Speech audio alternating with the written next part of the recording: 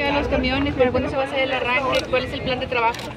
Pues bueno, estamos ahorita viendo toda la logística, ya sabes que tienen GPS, cómo está el sistema para estarlos localizando y saber exactamente cómo va la ruta, que la gente también sepa cómo va la ruta y sepa que tiene que sacar la basura. Eh, ahorita están pues, revisándolos, va a haber un entrenamiento para los choferes, una capacitación en estos días y ya en muy poquitos días vamos a, hacer la inauguración y ya para que salgan a trabajar. Ahorita te digo como, estamos entretenidos en, toda la calibración del sistema tecnológico y en, el, en el tema de la capacitación de los choferes y de los que manejan el sistema y todo eso. Anteriormente uno de los problemas era que se salían de sus rutas los choferes, ahora ya no van a tener ese problema, alcaldesa.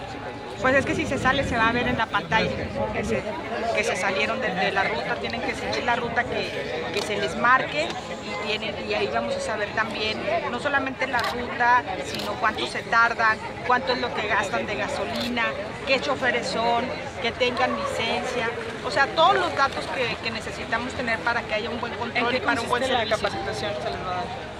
Pues en cómo se maneja, cómo se maneja el sistema y cómo tienen que cuidar el camión, cómo tienen que darle mantenimiento, cómo tienen que tratarlo pues para que nos dure, ¿no?